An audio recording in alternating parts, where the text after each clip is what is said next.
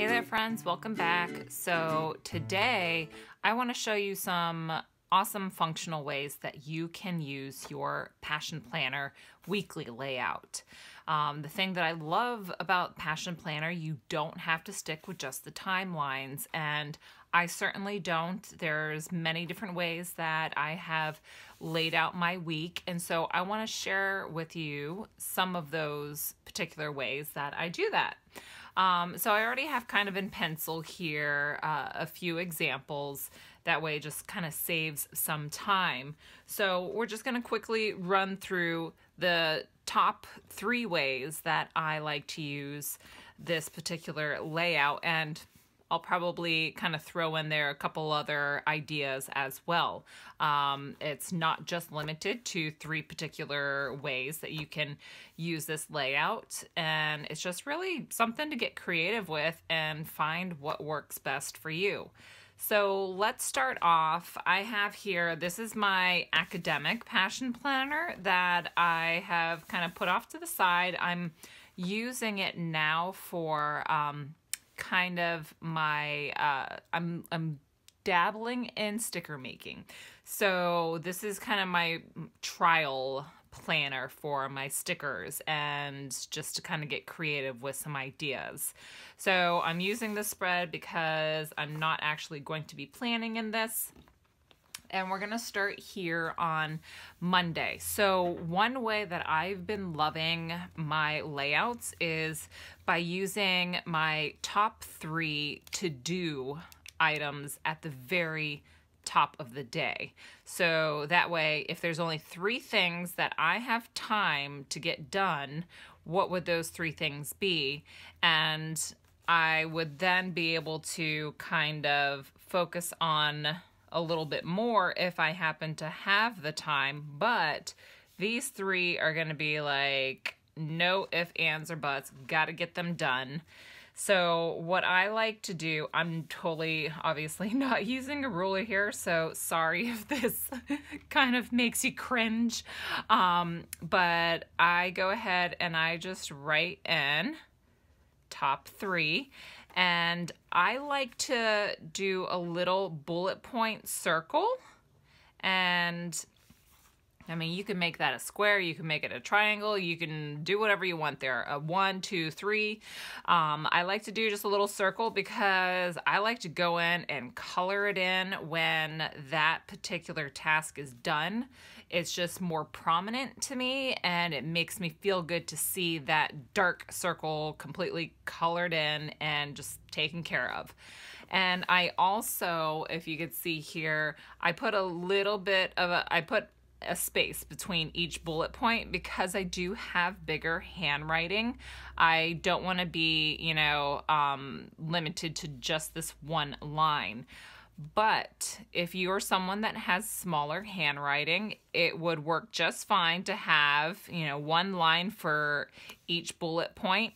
That way you would be taking up less of the day. So say you have an appointment, you know, at 8:30 that you want to definitely make note of, and that would only come down to that particular area and your bullet points would still be up there, but you're not taking up as much of your day. So like when I do this, it takes up um, my morning until about 9.30, but I'm okay with that. Um, when I'm at work, I don't have any specific uh, appointments or tasks to keep track of because I have my work computer and everything is just right there.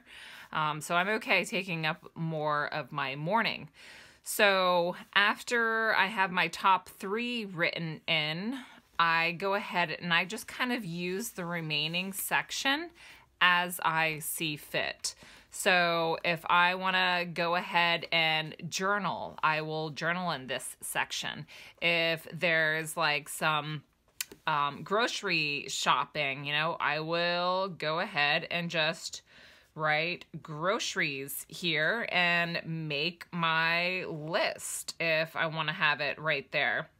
And I kind of, again, just use this as I need it. I know that my three most important things for the day are going to be at the very top, and that is going to be my goal get those three things done.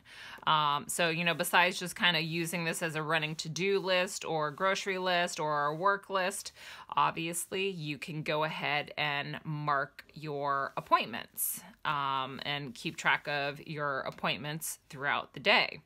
So this is the method that I've been using most recently, and I really enjoy it because, again, I don't have appointments to keep track of. I don't necessarily need the timeline for every day. Now, Wednesdays, which we're going to get to, Wednesdays I have off. I do have appointments on Wednesdays, so it changes a little bit. But so, first example is top three at the top there. The remaining section kind of list out whatever it is that you need done. Make notes of anything that happened that particular day. And of course, you do have your personal to do list here where you can keep track of more tasks that you are wanting to get done that particular week. So, moving on to the Tuesday section here. So how I have this set up is divided into three, kind of similar to like the Erin Condren lineup, or not lineup, layout. Um, I have three sections here, which you could use as uh, your morning, afternoon, evening, your work, personal, home, literally whatever it is that you want to have that uh, track. So I'm just going to write, um, you know, I'm just going to write morning. This is the most common morning, afternoon, and evening. So if you want to, you know, set up your tasks to be broken up, during the day, then you can go ahead and do so like that. If they're not specific timed tasks, but you know, okay, the laundry you want to get done in the morning, and you have these meetings, and then the afternoon, um, whatever else the task is, or other meeting, the evening time, whether it's dinner, exercise, picking up kids uh, after school or to events. And so you pretty much you separate it up that way or you do your personal home work this has been really great for me in the past. I have used this quite a bit. And I think this is a very nice functional use of the timeline section without being restricted to the times. So that gives you a little bit more separation of your day if you like to break it up with those times of the day. So moving on to Wednesday, this is where I would follow, well, a Wednesday in general is where I would follow more of the timeline because I do make most of my appointments on Wednesdays since I work uh, the other four days of the week. I work nine hours. I don't have time to go to doctor's appointments, so I cram it all in on Wednesdays. Now, if you, whether you have a day off or if you have a regular work schedule, another way you could use the timeline is as an actual timeline. So, say you want to really keep track of how you're spending your time each day uh, from the moment you wake up to the moment you go to bed. So, six o'clock in the morning, if you wake up at that time and you want to keep track, kind of just almost like a journal entry. Or if you really are trying to build routine, this is when this could be very, very helpful. So, six o'clock in the morning, say your goal is to wake up at that time. Then from 8 to 4:30, you have work. Then you could easily just kind of section out this time. Sorry again for not using a ruler, but you could easily section out that time for work and you have plenty of space to make your lists that you need as well, you know, from what you're required to get done at work. Plenty of room for lists. You can jot down your lunch section to keep track of that. Or if you're like myself and you've got that day off, you just need to keep track of those appointments, just do exactly that. But I just kind of drew this out as, you know, if you were using this planner as your everyday planner and you have a regular you know, nine to five job or whatever it might be, and you have appointments to keep track of during the day. This is a, the most um, popular way of using it, of course, because it is a timeline.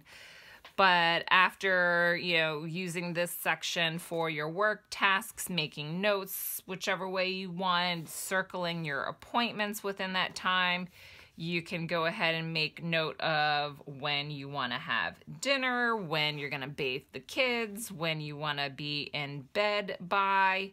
So this can be very much almost like a journal entry in a way so that you can look back and see okay how did i spend my time this day or what is it that really popped out from this day specifically so this is where I like to make notes. You know, for dinner, that's a very broad um, word right there. So if it's something special that we did, like we met with some friends at a particular restaurant, I will go ahead and jot down what it was we did and with whom we did that. So I will make little notes, even with the wake up time, and I have it set for six o'clock in the morning to wake up. Okay, well, did I do some exercise? So I might little make a little note there that I exercised for 20 minutes or did yoga. So I really love this because you can be as vague as you want or really put in information that you will always have on hand if you're needing to look back or again if you're trying to create better habits.